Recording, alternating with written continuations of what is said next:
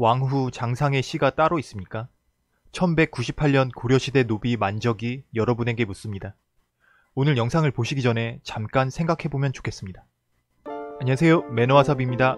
저는 예전부터 진화영이 반드시 살아있어야 이 작품의 전체 개연성이 들어맞는다고 말씀드렸었죠. 진화영의 재등장으로 인해 초반의 의문점들이 막판에 풀려가는 느낌입니다.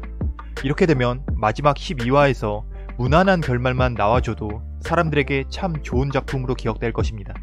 그러면 11화 리뷰 진화영과 이 작품의 진짜 반전 이야기 바로 시작해 보겠습니다. 먼저 진화영 이야기를 해보겠습니다. 진화영의 목적은 돈이 아니라 복수였는데요. 최도일과 진화영은 같이 이 큰 그림을 준비했습니다. 두 사람 모두 원령과의 원한이 있었죠. 4년 전에 오인주가 입사함에 따라 본격적으로 계획을 진행합니다. 그런데 여기서 작은 아씨들이 명작 드라마냐 아니냐가 갈리는데요. 오인주로 해외 계좌 개설을 마치고 돈을 인출하고 등등 조금 허술해 보이는 전개가 보였지만 드라마니까 그럴 수도 있겠다라는 생각으로 넘어갔습니다. 하지만 진화영 방에 있던 시체를 준비하는 과정과 원상아는 왜 진화영이 죽은 것이라고 확신했는지 그리고 박재상은 진화영의 집에 가서 뭘 하고 왔는지에 대한 의문은 정확하게 해결해 줘야 한다고 생각합니다. 그냥 진화영이 자살 사이트에서 만난 사람이 죽자 그 시체로 위장해서 꾸며놓고 원상아는 그 시체를 보고 진화영이 죽기 전에 성형을 해서 이런 얼굴이구나 결국 자살했네 코트만 입혀줘야지 뭐 이런 식으로 대충 넘어간다면 아쉬움이 있을 것 같아요. 정확하게 풀어줘야 진정한 명작으로 기억될 수 있습니다. 작가님의 큰 그림을 결말에서 보고 싶은 기대감이 있어요.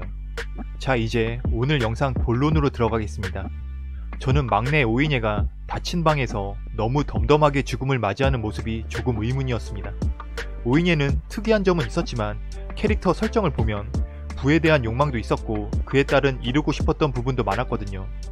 언니들보다도 욕망에 차있던 오인예가 그렇게 죽음에 순응한다? 조금 이해가 안 갔습니다. 둘째 오인경은 고모 할머니 오해석이 죽고 유산 승계에서 남들이 다 꺼려했던 부채 몇백억을 받아들입니다. 우리는 이렇게 생각했죠.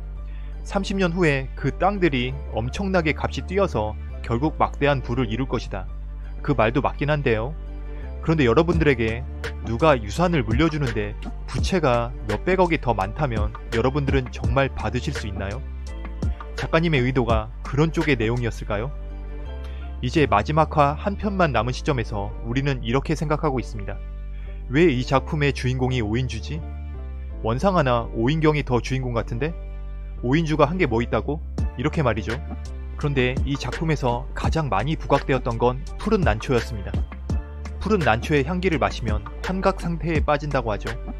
우리는 주인공 오인주를 보고 답답함을 많이 느꼈습니다. 돈 20억을 가방에 메고 다니다가 썸 집착녀 고수임에게 다 뺏기고 맞을 때도 때리는 고수임보다 맞는 오인주에게 더 짜증을 냈었죠. 오인주가 푸른 난초를 가져와서 향기를 맡을 때도 싱가폴까지 가서 원상아에게 인형놀이를 당할 때도 뺏는 자보다 뺏기는 선량하고 평범한 사람에게 분노가 돌아갔습니다. 11화에서 오인주는 법정에서 평범한 사람들이 할 수 있는 진실된 말을 했습니다. 그런데 그때 진화영이 등장했죠. 결국 어떻게 되었나요?